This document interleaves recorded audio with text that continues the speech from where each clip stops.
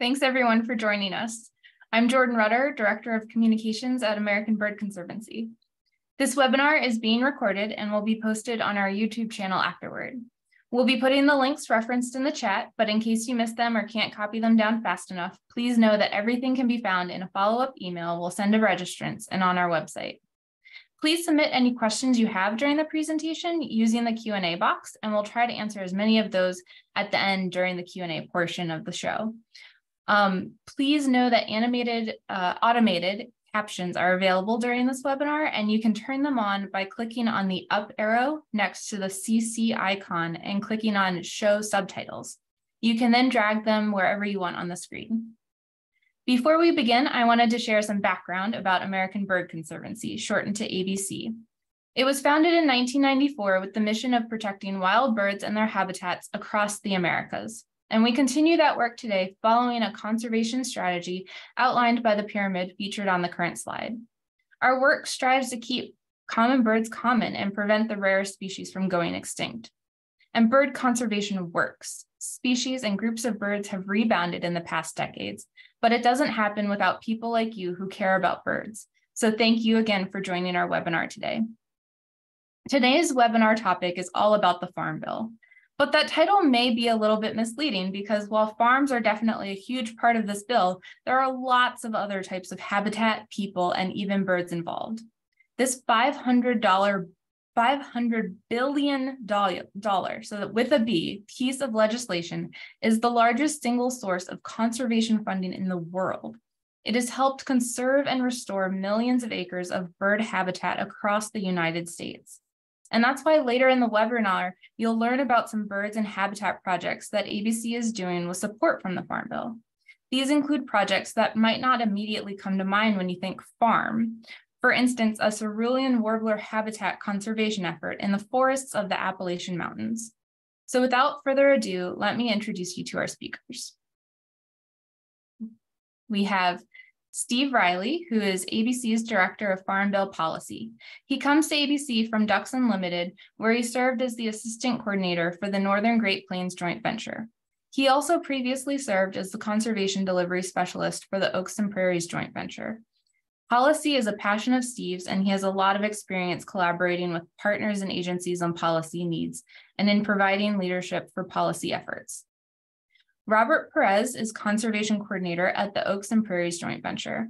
A South Texas native, Robert retired from Texas Parks and Wildlife in 2021.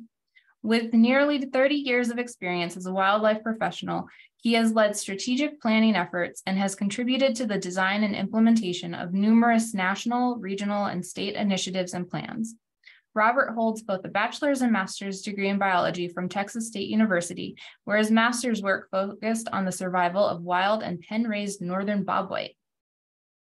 Seth Coffey is a fifth generation agricultural producer operating the Honey Creek Edgerock Ranch in Springer, Oklahoma with his family. He holds a bachelor's degree in rangeland ecology and agricultural business and a master's in fire ecology from Oklahoma State University. He currently serves as the president of the Arbuckle Rangeland Restoration Association and in the Arbuckle Conservation District Board of Directors. And last but not least, we have Amanda Duren, Director of Conservation Partnerships for the Appalachian Mountains Joint Venture. She first joined ABC and AMJV in 2015 as the Pennsylvania Cerulean Warbler Appalachian Forest Enhancement Partnership Coordinator before becoming the AMJV Habitat Delivery Coordinator in 2018. She graduated from the University of Delaware with a master's in wildlife ecology and a bachelor's from Pennsylvania State University in environmental resource management. First up, we're going to have Steve talk about the Farm Bill in general and some great background information for all of us. So Steve, if you want to get set up. Good afternoon, folks. I'm going to switch to my PowerPoint and we'll see what happens there.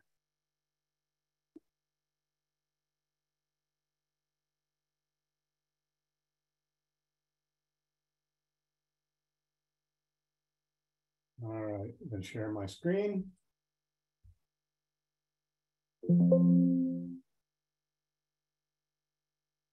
Should be good now. You're good to go. All right, so today I'm going to talk about our uh, our Farm Bill uh, platform, getting ready for the the deliberations on uh, this farm bill. Farm bills are about, they tend to last for about five years. The current one will uh, cease to be authorized September thirtieth. So Congress is in the process of building a new, uh, a new farm bill. And as Jordan said, it's uh, going to be about a half a trillion dollar bill uh, with a lot of different things in it. One, one part, actually a fairly small part, is the conservation title of the farm bill. Uh, this is the first time that ABC has had its own platform, though we've been involved with Farm Bill in the past. So part of what you need to know uh, that leads to this, why are we why are we doing this? Uh, well, nature's trying to tell us something. We've lost half of the grassland birds in the last uh, 50 years, uh, and uh, we continue to see those populations go down most of the bird populations have gone down. It's just that grassland birds, I'm kind of pointing out that they're uh, they've gone down more precipitously than most of the other birds. And also they tend to be where we have uh, farmers and ranchers. Um, and so we'll talk about that a little bit more. Right now, there are about 70 species of birds that are on the tipping point, meaning that if they drop much further, they'll be in the category of threatened or endangered uh, and so we need to do some things to start turning the tide.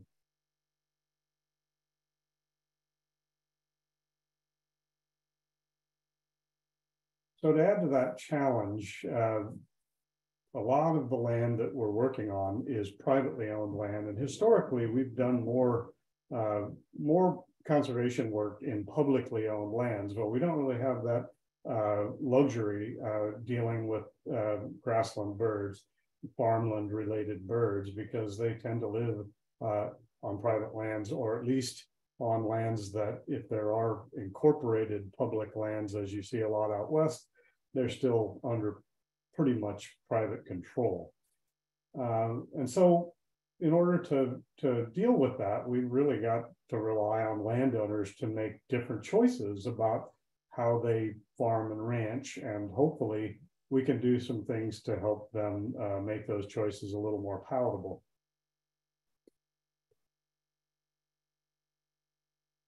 It's a little bit, we're kind of dealing with in the grassland landscape as well as the other landscapes. We're dealing with a, a with ecosystems that are just kind of fraying like a like a fabric. We've tended to use this uh, analogy uh, of a, a, tattered fabric to, to kind of get people to think about what's going on out there. It's not just the birds that you know uh, around you. It's most of the birds that are not real generalists that, that thrive around people.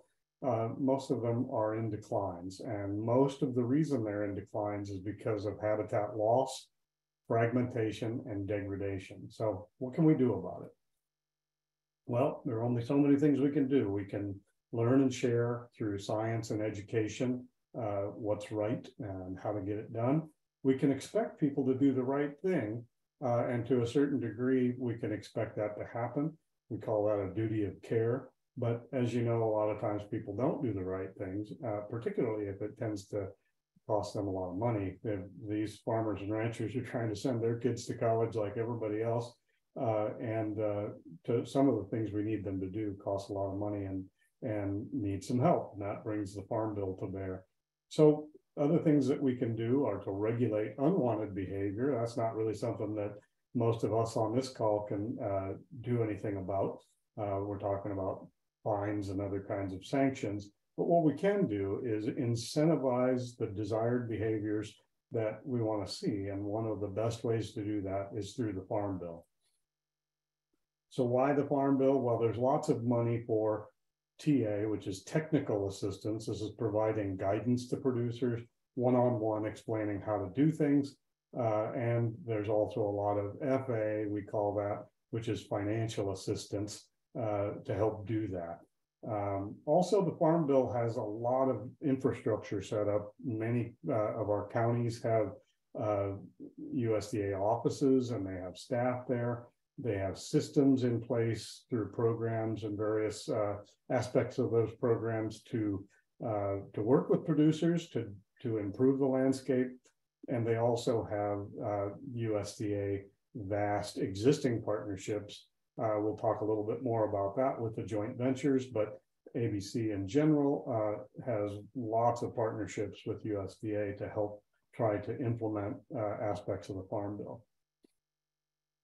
So uh, our top priorities within our uh, our uh, Farm Bill platform that we call Bird Saver. I'm going to get something a little catchy there, but we really want to in, improve incentives for Western Western ranchers, particularly, but other grassland owners to improve those grasslands where we already have existing grasslands. It's a lot cheaper to do that.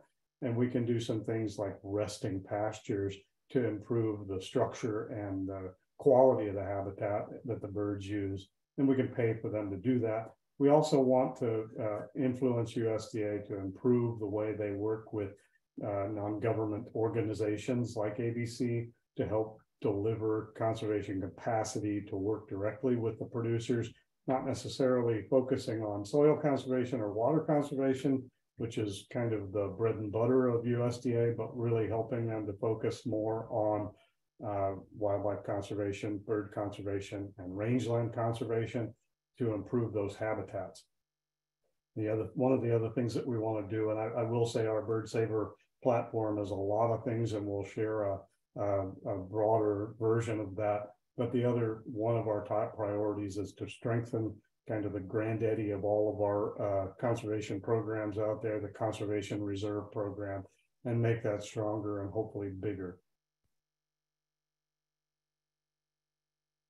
So, really, in a nutshell, uh, ABC is working uh, and wants to work with you to uh, build a better, strong uh, farm bill uh, and to help bring back grassland birds, forest birds, and all the other birds that are out there that are in decline.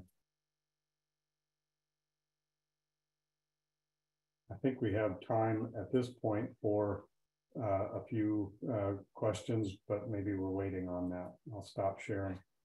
Thanks, Steve. Yeah, that was a great overview. If folks wouldn't mind putting their questions in the chat or the Q&A box, we'll collect those and ask them at the end.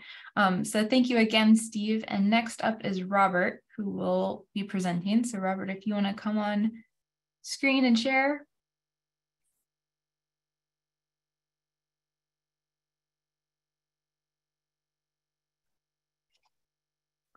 Great. Take it away. All right. Hello. Yeah. Um, Robert Perez, great to be with you guys today. Thanks for taking the time to stop in and hear a high level view of what we're doing with Oaks and Prairies joint venture related to the Farm Bill. Um, as Steve mentioned, there's a number of different programs that ha can have an impact on working lands, private lands to impact declining grassland birds. Um, so the Oaks and Prairies is one of 24 joint ventures across North America, uh, Canada, US, and Mexico. And we're, we're all our own um, mini partnerships, self-directed collaborative partnerships, partners, the key word, and um, really focused on conserving habitat for birds and wildlife and people really focused on birds, but what we bring to the table is strategic thought. And so really basing our actions in science and guided by science and what's best and most appropriate to help um, all birds. There's a colored map with all the joint ventures in North America. We're right there, Oaks and Prairies in Texas and Oklahoma. And we're um, relatively young. Some of the joint ventures have been around for a long time. We've only been around since 2008 and all birds are what we try to conserve and work to help. But really, we only have so many employees and so much time in a day. And we put a lot of our efforts into these declining grassland birds specifically because we don't really have a lot of wetlands in our geography for waterfowl, but we do have a whole lot of grasslands and um, focus on those within the oaks and prairies kind of uh, ecosystems in Texas and Oklahoma, and also the Edwards Plateau, which is kind of central Texas. And so one of the things that was kind of an idea at the back of a truck at a tailgate one day several years ago was talking about what can we do what kind of program can we kind of build and get people excited to do on the ground work to help birds to help these um, you know, reach these population goals and to really help those we thought you know it would be good to have something that's easy. And uh, we started this grasslands restoration incentive program with uh, kind of a broad partnership and it's grip. And so the thinking was get a grip on native grasses, get a grip on grasslands. And this kicked off in late 2013. And we wanted folks to really kind of have ownership and be able to navigate the complicated, really process of applying for and getting USDA funds through the Farm Bill, working with private landowners to get those programs on their lands. It can be tedious, it can be confusing. And so we wanted to work with our private landowners and stewards and help them kind of get through get to these programs and move the needle for conservation and really start to impact folks kind of behavior and how they view the resources. There's so many acronyms with the farm bill and different programs and so it's usda farm bill but there's the nrcs side of it and there's the farm service agency. Um, but really it's really about what can you do? What are the actions that are going to restore or enhance uh, native grassland habitat. So here's a list of seven of them that we kind of rolled in this program. They've got a long, long, long list. We just focused on those things that were, we felt could really have the greatest benefit to grassland birds. So brush management, prescribed burning, prescribed grazing, these sorts of things uh, to help those species. From 2017 to 22, we had a real big win and had a regional conservation partnership program or RCPP that uh, we applied for and were awarded.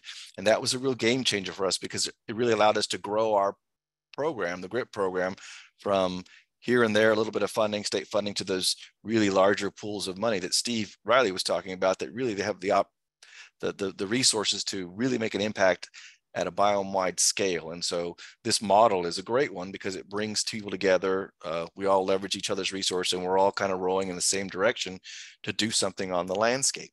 Um, so that was a 2.6 million agreement and uh, it allowed us to hire some staff and to work directly with landowners and really start to get things uh, on the ground.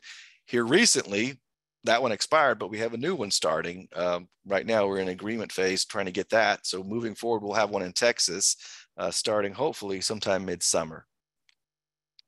But why, where do you work? That's one of those questions in talking about the science. We chose counties where bird populations are declining, but they have a high likelihood of being recovered and we focus our efforts. And so that leading edge of decline to stem those losses for birds like northern bobwhite, painted bunting, eastern meadowlark, dick dickcissel, and we wanted to look at the human aspect of it and include human dimensions work in some of these counties. And so it's basically 30 counties in Texas and 10 in Oklahoma where we try to concentrate those resources, concentrate our efforts in working with partners to make a difference on the landscape. Um, really, my take home message is for us to be effective in doing what we're doing and to help the birds, we really want to keep working lands working. Uh, that's a really important part of keeping those systems functioning and healthy and benefiting the air we breathe, the water we drink, and all of us, not just the birds, but it's, it, it benefits us all to keep working lands working. And uh, these grasslands, you know, really help us increase our bottom line, shaping those behaviors, as I mentioned, but also trying to get permanent adoption of beneficial practices because when grasslands are healthy, cattle operations can actually see better weight gains, uh, better water infiltration, better soil health. There's all sorts of upside to working through these programs, through the Farm Bill and other programs to really make an impact out there on the landscape for, for us all. And it's and, and really want to focus on that sustainability. And I think that's all that I've got. That was a quick overview. I think I'm right on time. You're going to get a lot of questions at the end, Robert, but that was awesome. Yeah, such important work. So thank you. Um, we are, as I mentioned, going to save the questions till the end though. So Robert, if you want to um, stop sharing your screen and Seth, you come back on. Um, friendly reminder to our audience that we are recording this webinar and we'll be sure to send a follow-up email with all of this information and links and things like that as well. So keep an eye out for that. But Seth, if you want to share your screen.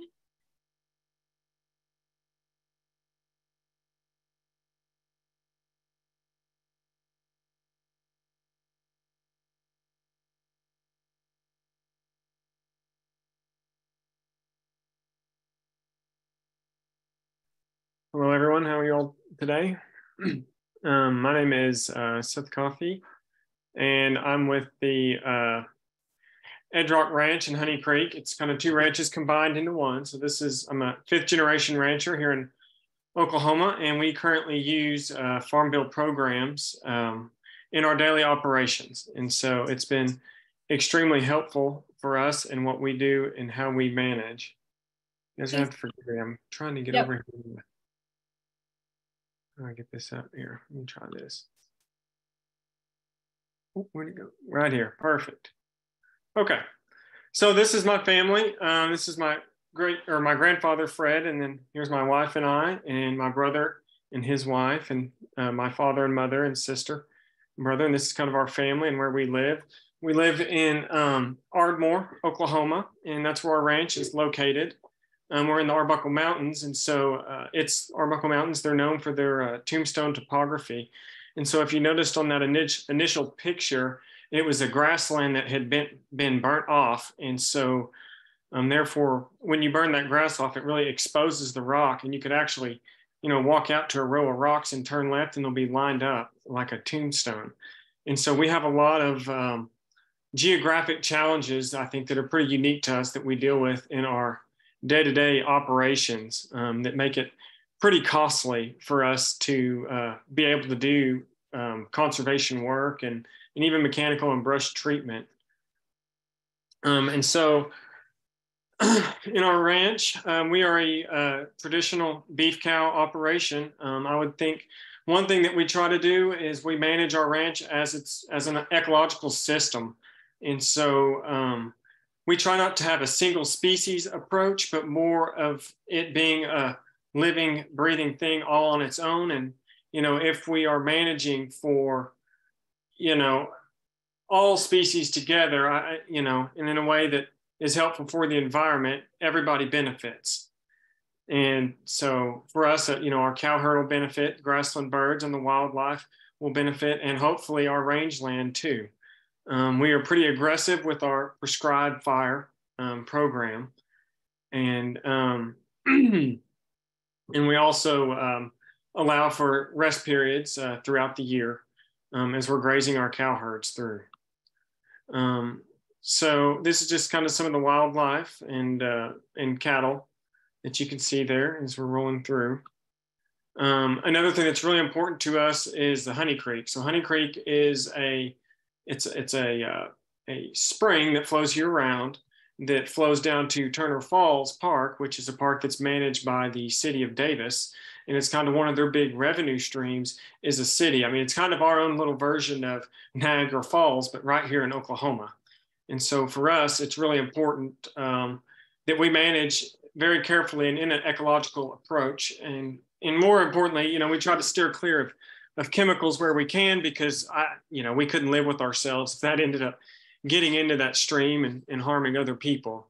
And so for us, you know, water is very crucial and it's still our limiting factor in our day-to-day operation. Um, some of the programs that we've used are uh, GRIP. Um, Cole Fagan and Ken G were the first to kind of come to me and uh, help uh, walk me through how that program would go. Um, this picture down here on the right uh, with the bulldozer, that's something that uh, we're working on currently where we're pushing out um, eastern red cedars or actually Ashe juniper is what we have to deal with on a day-to-day basis uh, because we're on top of the limestone rock. But um, it's been very helpful for us and for me it's allowed our family to um, hopefully reach our conservation goals a little bit faster and in a little more timely manner. Um, funds are often can be constrained in the cattle industry from year to year and you don't always have a lot of money to um, you know target invasive species such as eastern red cedar. And so it's been extremely helpful for us um, on that. The next one that we've used uh, throughout history was the conservation stewardship plan. Um, for me uh, I, you know i liked it but then it, the way that the policy was written it made it very difficult um, to implement in your day-to-day strategy as a rancher. Uh, they had definitely had like specifics like instead of burning a third of your ranch where you had to burn a third of each pasture. Well for us that was extremely difficult to do because of you know the terrain and the topography. And so you know we've kind of shifted our management since then and now we're burning say one whole burn unit every three years and we're shifting our burn units around but we're not trying to target you know a scale that's so small in that pasture that you know we end up harming other pastures in the process, trying to get everything to line up. And these are this is just kind of an example over here on the right of some of the things that CSP would require you to do in order to uh, gain that money from the government. And uh, these are kind of things that most most ranchers in today's time should be doing all of these things already. Um, I'm sure that there's a few out there that are new to ranching that may not be aware of rotational grazing, rotating your mineral tubs, uh, monitoring your forage growth, and making sure that your carrying capacity, you know, and grazing plan match, you know, uh, your forage production on your ranch. But CSP is a great way, or was for you know ranchers to get introduced, new ranchers to get introduced to that process and how it would work. And the last one that we've tried and that we're currently doing, this is the first time, is EQIP. It's the Environmental Quality Incentives Program. Um, again, it's a way for us to just kind of move the needle a little bit more on our um, cedar issue that we have to deal with in our day-to-day operation. Uh, I would say one thing uh, to keep in mind when dealing with EQIP is, you know, unless you really have your costs nailed down as far as, you know, what it's going to cost you to remove an acre of cedar trees, you know, you got to be careful for how much you sign up with and and that, you know, it's not going to end up costing you more than maybe you have a, available in your budget.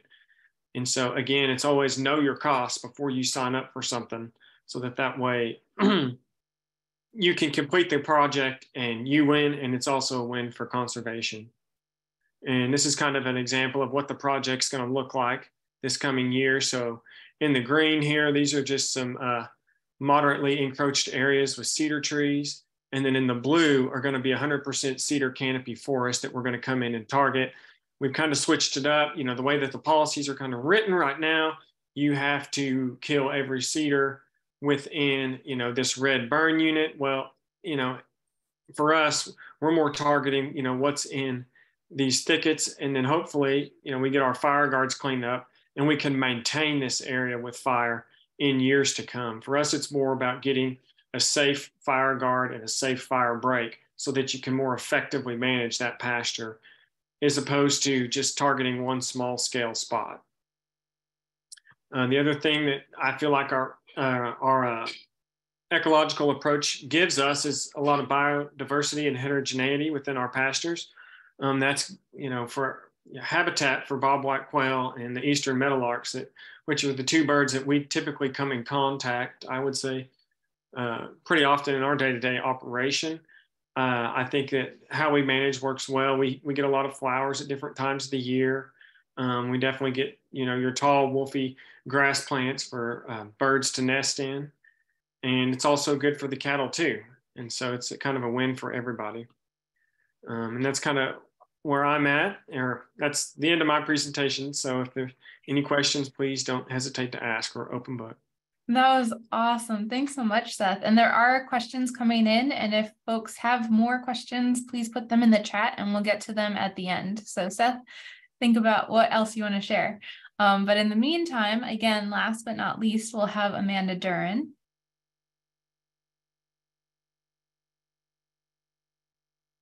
And you're all set. Take it away. Hi, thanks, Jordan. Thanks, everyone, for joining us today. And I'm excited to share with you how uh, American Bird Conservancy is using Farm Bill uh, funding to help create habitat for the cerulean warbler. Uh, the Cerulean Warbler Appalachian Forest Land Enhancement Project was funded through a Farm Bill program called the Regional Conservation Partnership Program. Um, and the project results that I'm going to share with you today took place between 2015 and 2020 in the states highlighted on the map here on the slide. And the project was focused on working with private landowners to manage their land to create or improve habitat for the cerulean warbler. We did that through three different pathways. Uh, forest management in the states that are shown here on the map in green, uh, legacy surface mine reforestation in the, in the states shown in orange, and with conservation easements in Pennsylvania. Uh, in my time today, I'm going to focus on the forest management and legacy surface mine reforestation um, that we were able to accomplish with private landowners during this project. But first, um, why cerulean warblers? Um, despite the male of the species having this bright blue coloration, the cerulean warbler might be one of the most elusive birds to see in the Appalachians. Um, however, about 80% of the entire cerulean warbler population breeds within um, the Appalachian Mountains, um, which makes it one of the species of highest concern for us here in the region. Unfortunately, across most of its range, the species has been declining at a rate of about uh, 1%, 1.5% per year. Another way to think of that is that over the last 50 years or so, about 70% of the cerulean warbler population, or more than a million birds, have been lost. Uh, the main reason for this loss um, is the um, decline in um, suitable habitat for the species. That includes both the loss of forests due to development, but more importantly, across most of the range, is that um, there has been a decrease in the quality and suitability of forests for ceruleans. That means that while the forest is remaining, um, while the landscape is remaining forested, the forests are not offering the conditions that cerulean warblers need to successfully raise their, uh, their young and to nest. Uh, many of you might associate cerulean warblers with old forest. And while that's true, um, the specific aspects of old forest that cerulean warblers are attracted to are widely spaced large trees, especially white oaks, and forests that have really high structural complexity. And what that means is that the forest canopy is made up of trees of different heights and it has openings in it that create gaps. And in those gaps, sunlight is able to reach the forest floor and um, create a thick herbaceous layer of plants growing um, on the forest floor in those places. Over time, these features tend to develop in very old forests through natural disturbances like fires or um, storm events. But forest management techniques can actually be used to enhance or create these features in younger forests attracting cerulean warblers and creating the habitat they need to successfully nest and raise their young. There's also um, a need for forest management practices to help restore degraded forests and put them on the path towards becoming cerulean warbler habitat in the long term. Through this project, we were able to work with private forest landowners across Appalachia to implement practices like tree planting, sustainable harvesting, invasive species control, um, canopy gap creation, and prescribed fire to create or improve habitat um, for the cerulean warbler. These practices often have no commercial value, meaning they're not financially feasible for many landowners without the financial and technical assistance from programs like those offered in the Farm Bill.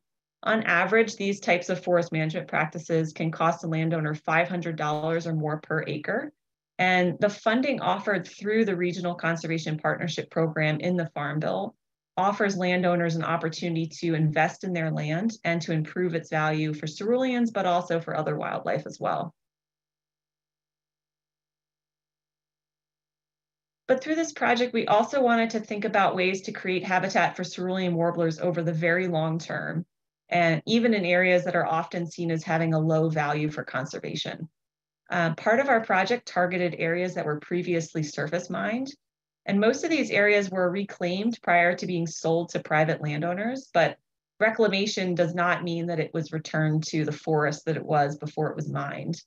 Most of these um, surface mine legacy sites um, suffer from extreme soil compaction that limits the ability of trees to grow there. And they're often replanted with non-native grasses and invaded by um, invasive species like autumn olive, um, which is a shrub.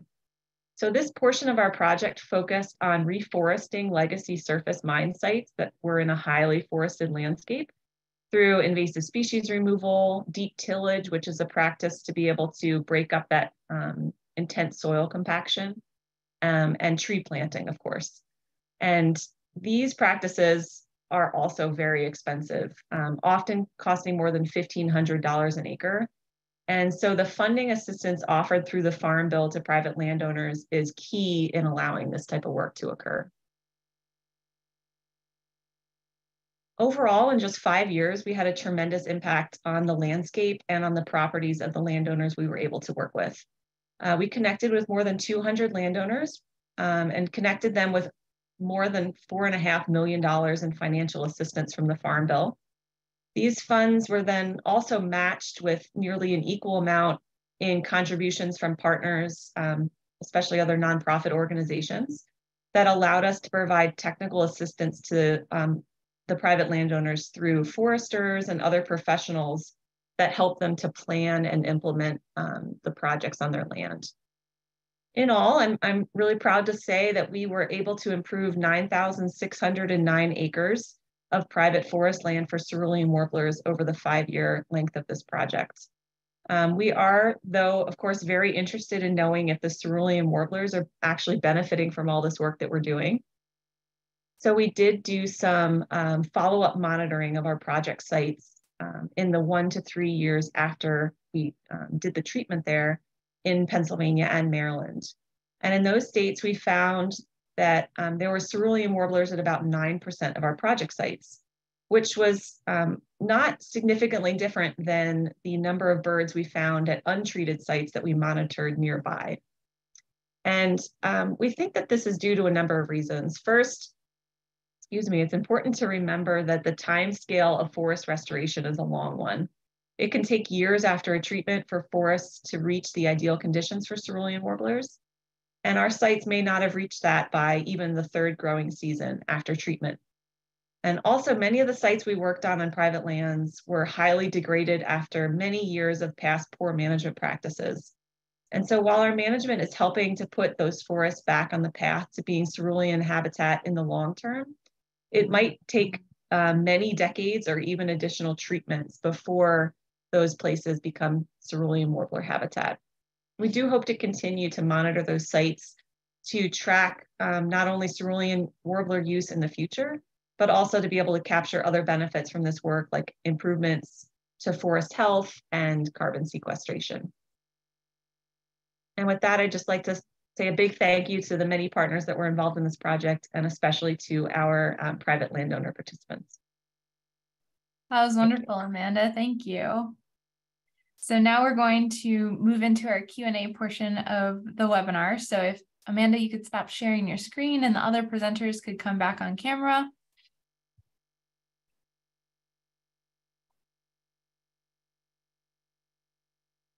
I want to thank all of our participants for all of your great questions, and we'll try to get through as many as we can now.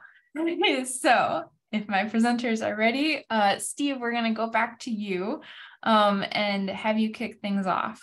Um, one of the questions we wanted to ask you is to go a little bit more in depth of what people can do to help support the Farm Bill. You had that great slide about different ways to get involved, and maybe you could just share a little bit more about um, how we can actually get this really important piece of legislation passed. Well, there are some great ways, uh, and ABC and a number of our partners offer various means to uh, engage Congress. Obviously, the Farm Bill is going to be determined uh, first and foremost by your uh, members of Congress, House of Representatives, members, and senators and so uh, the best way to influence it is to work with those folks, develop relationships with them. And we have a lot of information and systems that can help you do that. So uh, we have action alerts uh, that often go out. You can sign up to uh, get those. And when they come out, we often will have a, a uh, kind of a, a template letter that you can build off of and send to your members of Congress pretty easily. Uh, First thing you'll want to do though is to take a what we've put together with our Bird Saver platform. There's a two-page version of it, and just uh, take a look at that, familiarize yourself with it, uh, and uh, and then try to jump in and help us uh, work with the members of Congress to uh, get some things done. Thanks, Steve. So, Robert, we're bird people. I want to talk to you about birds. Um, so you mentioned a few species specifically. Some of us, including myself, have them as our backgrounds right now. Meadowlark, Steve has bobwhite. Why are those specific species the focal species and how are they doing? Can you talk to me about the actual um, conservation status of those species like painted bunting and dickcissel that you mentioned? Sure, sure. Yeah. So the great concern there for grassland birds, many birds that are common, like meadowlarks and like of flycatchers, painted bunting, they've been around a long time and had really robust, large populations across North America, when when in fact the birds can still be seen. I think there was a, a magazine article 10 years ago, Audubon came out and the cover was a meadowlark and it was um, common species in decline. And so what we see is really steep and significant decline specifically in grassland birds. So that guild or assemblage of birds is the is the fastest group of birds uh, in North America. And so it's very alarming. And so although we still can see many of those species, and they're not threatened or endangered at this point. Some are. Don't get me wrong. Some of the birds are threatened and endangered, but as a whole, it's it's uh, very concerning and it's a it's a challenge and it's based in habitat. And so we have to look at habitat and where that land is. And most a lot or most a lot of the grasslands biome is in private land ownership. And so that's why we focus these efforts to work with and on private lands to uh, enhance, conserve, um, restore grassland habitat. Thanks, Robert. Seth, the next question is for you as, as our private landowner. Um, we want to know a little bit more about how other private landowners can get involved and be supported and take advantage of some of the programs that you mentioned.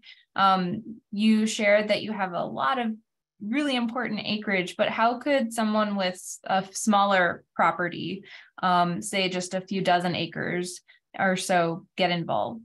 Do you have any tips for them? Um, I would say that the first thing you could do is march down to your local USDA NRCS office and develop a relationship with those individuals and the people that are also on those conservation district boards.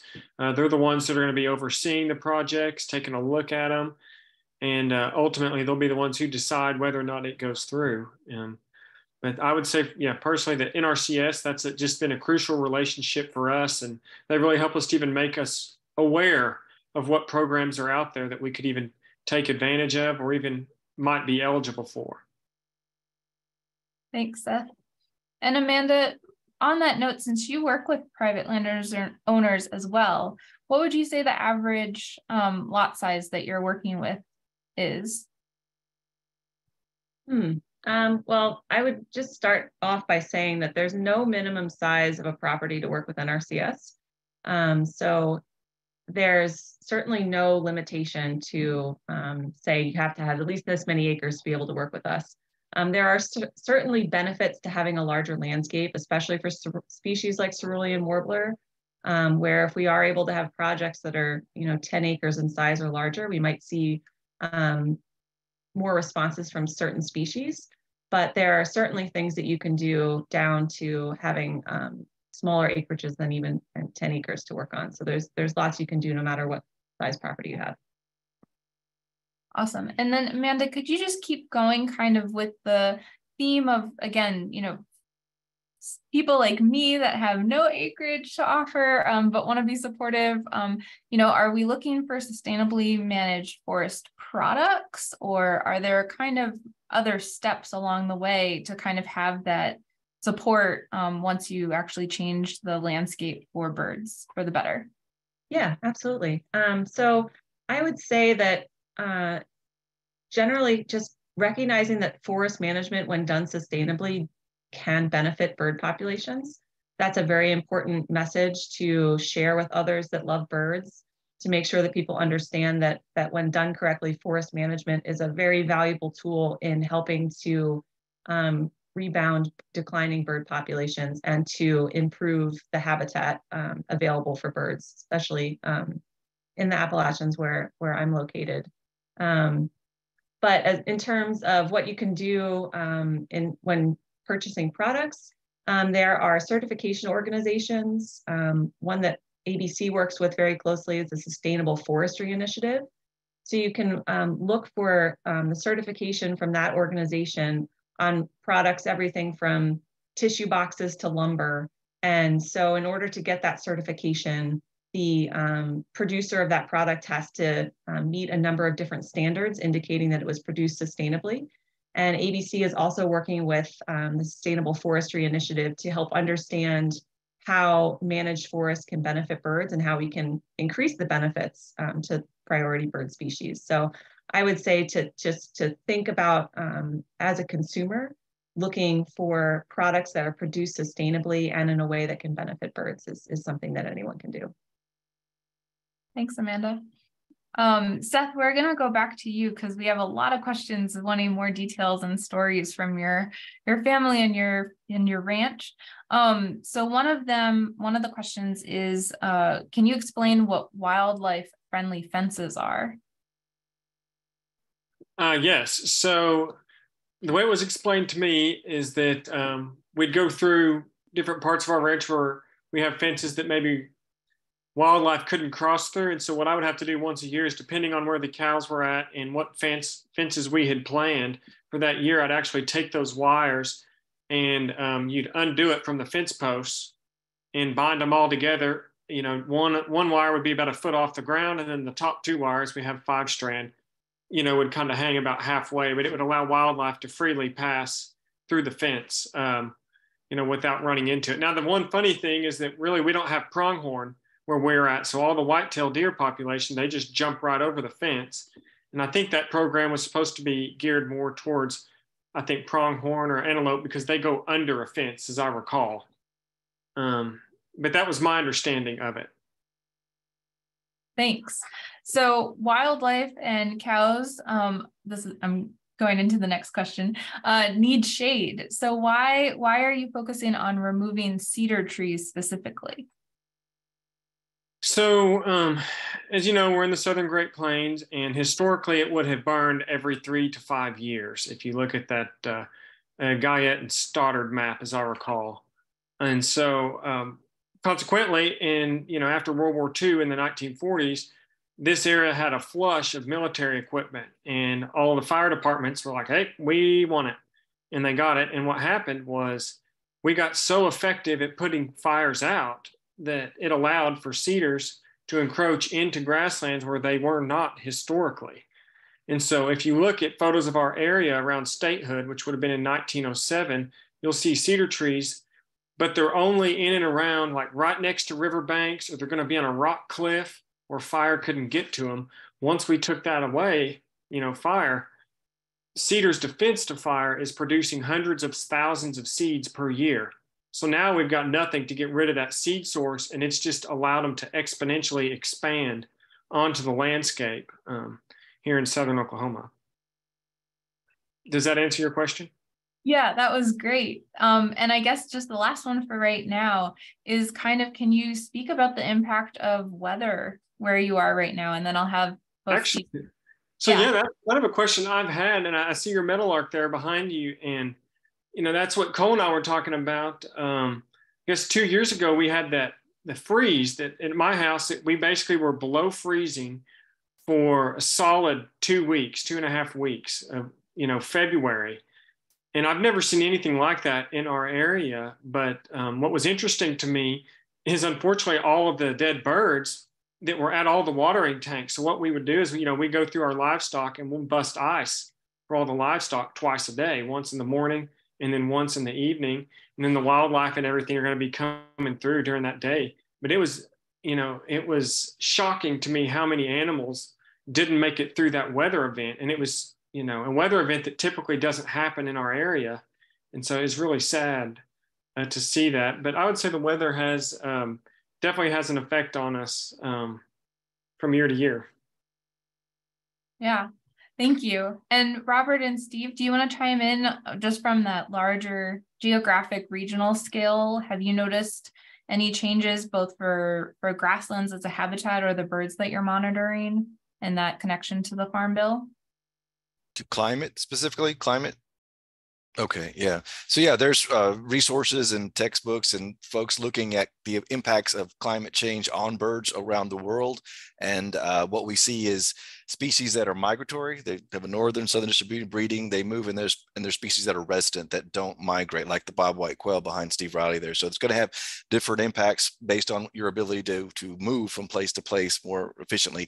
And so, yes, as climates continue to change and weather shifts and there's different things that it impacts the distributions of the plant communities and the plant communities out there kind of dictate what birds can feed on and what they can use. So there, I think even Audubon or Nature Conservancy, there are some pro, uh, models and projections to go and look at right now online, like how changes in climate will affect plants and will affect bird populations in the future. But there's no doubt that it it it it, it can shift areas that birds are going to favor. And the ones that can migrate can shift along with that.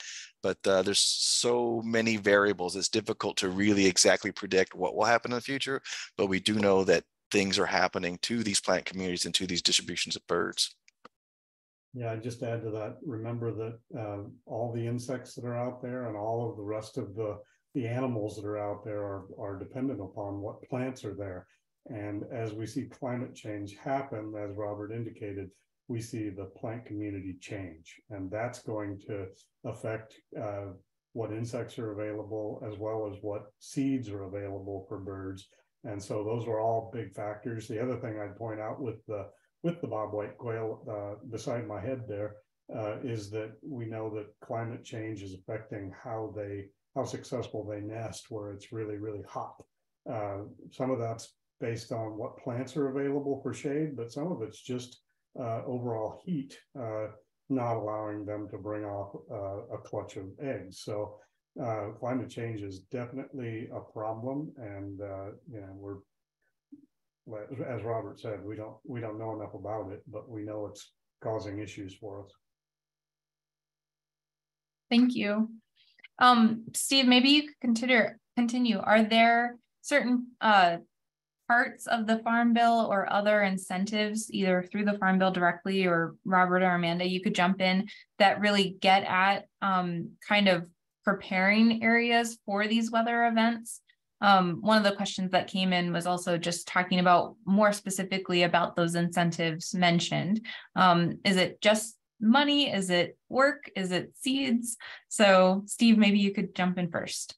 Yeah, I think one of the things that we can do uh, right off the bat that we focus a lot of attention on uh, and what we try to drive the Farm Bill towards is uh, native plant communities that are healthy native plant communities. They're going to be uh, better suited uh, to provide the kind of resilience we need uh, to kind of combat climate change it's going to affect some of those species, but uh, sticking with the natives is really important. That's a, that's the the basis of most of our work. Um, so I, I guess I, would leave it at that. If we have native plant materials, we're going to have native insects. We're going to have the other native plant food sources that'll support all of the vertebrate uh, animals that uh, that live there, whether they're migratory or uh, more importantly, if they if they're non-migratory.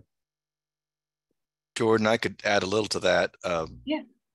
So the different programs and how, how they help, they're not all monetary. Some of it, as Steve, as Steve mentioned earlier, is TA, which is technical assistance. I know we have a lot of acronyms, but to the financial or technical, and lots of organizations besides Farm Bill and RCS offer technical assistance. So your state wildlife agency, Nature Conservancy, American Bird Conservancy, all the joint ventures, um, um, the Audubon, and there's lots of resources out there that can help you with how to restore uh, prairie type grasses on your land.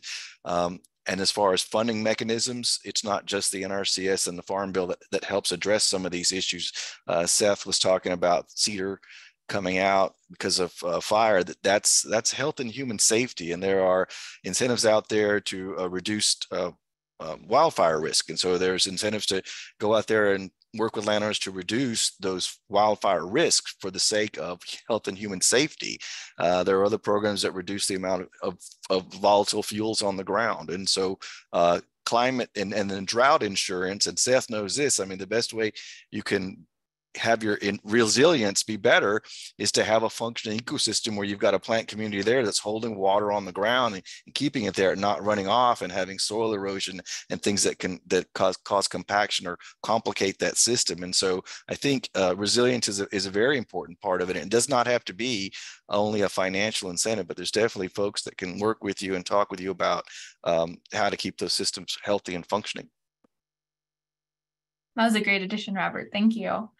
Um, one of the questions that came in was asking about uh, support and interest by different private landowners in the conservation and bird aspect of the farm bill. So um, for our ABC folks like Amanda and Stephen Robert, maybe, you know, do you find that the people that you're working with are really passionate about this? Or is there a need to keep doing outreach? And maybe Seth, Seth, why don't you start if you don't mind, with some of your um, neighbors and colleagues? And you know, is this is this a widespread known thing that we're all part of, or is it um, something that we need to do more? And could, could you rephrase that just one quick, one more time? Uh, are your neighbors and friends and fellow ranchers really involved and engaged with the bird conservation aspect? So, so we definitely have a few neighboring ranches that that actively are, um, and they're going to be more involved primarily with the NRCS. Um, Coles definitely does a good job at getting out there and uh, meeting with landowners. And you know, in, in Oklahoma, you know, we're kind of probably one of the reddest states in the nation, and so when you mention government programs, people, you know, they'll start cutting their eyes at you, looking sideways. But um, for us, and you know, I always try to speak positively because for us, it's really been allowed us to be able to um, uh, target, you know, our uh, conservation efforts more quickly and effectively instead of, you know, going out there for years trying to trying different things until you find something that uh, works. Thanks, Seth. Robert and Amanda, you work with private landowners. What would you say the engagement level is like? Um, yeah, I think that I am always pleasantly surprised by how much wildlife, especially birds, um, bring people to the table in terms of wanting to improve their their property. And especially with forests, it, it often comes down to legacy because a lot of the times the landowners who are going to be doing this work may not necessarily see the benefits in their lifetime because it just takes such a long time when you're working in forested systems to see the results.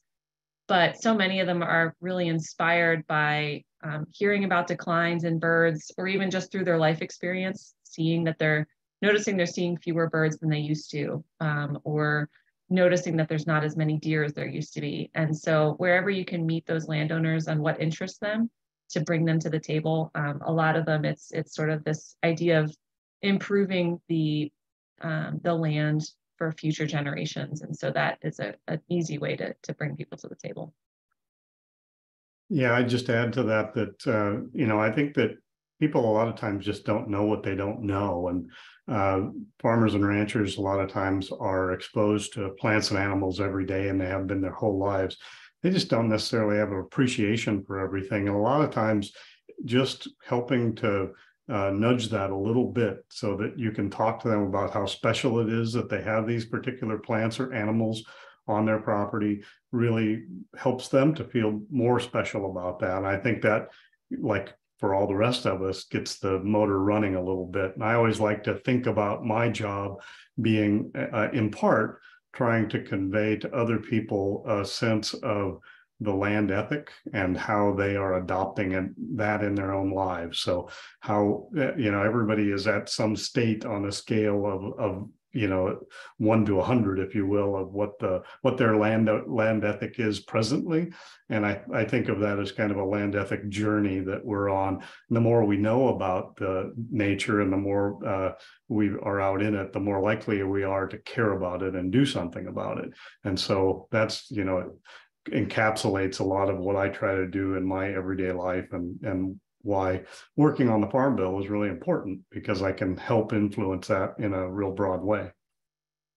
Well, that was very poignant. Thank you, Steve. Unfortunately, our webinar is actually coming quickly to a close. So I have one final question for all of our presenters. It'll be the same question and we'll go in the order of the presenters. And that question is, what is one thing that you hope everyone takes away from this webinar? So Steve, you're up first. I would uh, say that I hope everyone takes away from this that you can do something about this. You have the power uh, of the the pen and the uh, now the email to uh, contact your members of Congress and ask them to do the right things. And Robert. Yeah, I would uh, that that that message of keeping working lands working is very important. Those economics are very important to the health of grasslands and to uh, declining grassland birds. And so just to keep that in mind, I think Amanda talked about sustainable products for forestry. There's, you know, grassland, there's certified beef, grassland friendly uh, beef. There are things you can do at the supermarket every day to help to help grassland birds as well. So even if you're not a landowner, there are definitely ways uh, to, to help. Thanks, Robert. And Seth. Uh, for me, I think it would be that uh, you know keep in mind that most most ranchers, I feel like in today's time, have a long term vision in place, and that you know we are managing for future generations, and um, that you know trying to get hung up on a, a single species you know problem, but try to remember that this is a bigger picture. There are a lot of species that are affected by good and bad management, and so try to manage your properties where you can is a whole living, breathing system and not just for one specific item because you may overlook something that could drastically you know negatively affect your operation. Thanks seth. And amanda. I would just say to remember that the farm bill is a lot more than agriculture and working lands are a lot more than farms. So remember that forests are working lands and even though the time scale is a lot different um, to take that time and make that investment will ultimately benefit birds and, and ecosystems in the end